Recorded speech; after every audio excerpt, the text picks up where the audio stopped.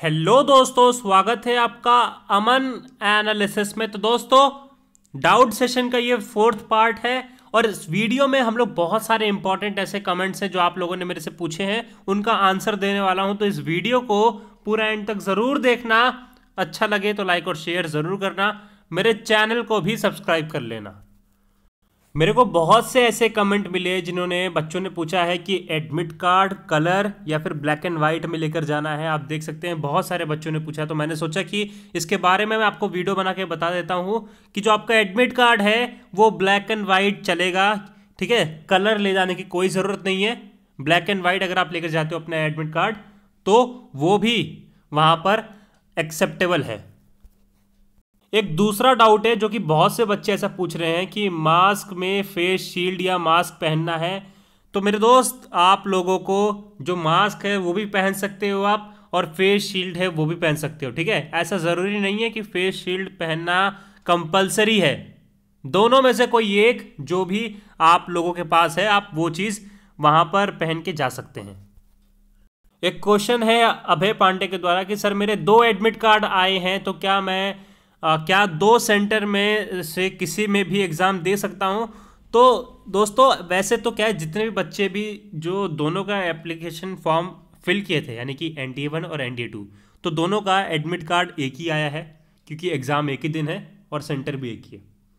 लेकिन अगर बच्चों ने गलती की थी दोनों को अप्लाई करने के लिए तो उन दोनों का अलग अलग एडमिट कार्ड आया ठीक है? तो आप अपने अकॉर्डिंग आप किसी में भी दे सकते हो पेपर ऐसा कोई कंपलसरी नहीं है कि आप किसी एक में देना चाहते हो। आप जिसमें भी एलिजिबल हो, चाहे अगर आप एन डी वन के लिए एलिजिबल हो तो एन डी वन का दो एन डी टू के लिए हो तो एन डी टू का दो। ठीक है? लेकिन आप दोनों जगह तो दे नहीं सकते एट ए टाइम आपको बात समझ आ रही है? और एक तीसरा डाउट है जो कि बहुत से बच्चों ने पूछा मेरे से कि आधार कार्ड पे फ़ोटो बचपन की है, यानी कि छोटी है फ़ोटो और भी एक और डाउट जैसे पूछा है कि मेरे आधार कार्ड में जो फ़ोटो है सेवन्थ क्लास की है तो कोई दिक्कत तो नहीं होगी? तो सबसे पहले मैं आपको बता दूँ कि आपका आधार कार्ड पे चाहे जैसी फ़ोटो हो, दिक्कत कोई नहीं होने वाली। चाहे आपने कोई भी, कोई मतलब जो फ़ोटो है, चाहे कितनी भी पुरानी लगी हो। ठीक है? कोई दिक्कत नहीं होगी, क्योंकि केवल आधार कार्ड, केवल फ़ोटो से ही नहीं आपको जज किया जाता। ठीक है? बहुत सारी चीज़ें होती हैं। और इसके साथ एक बता दूँ कि बच्चे पूछ रहे हैं कि कोई फ़ोटोग्राफ भी लेकर जानी होती है क्या?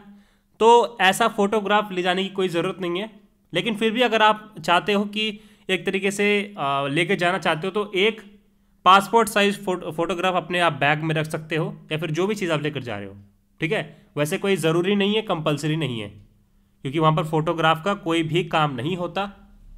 और पेन का आप पूछ रहे हो तो दोस्त पेन तो ब्लैक बॉल पॉइंट पेन ही ले जाना है, ठीक है? और कोई पेन लेकर नहीं जाना। तो उम्मीद करता हूँ मैंने बहुत सारे ऐसे डाउट है जो आपके क्लियर किए होंगे। ठीक है, इस वीडियो को शेयर करना अपने दोस्तों के साथ। चलता हूँ मैं। जय हिंद, जय भारत।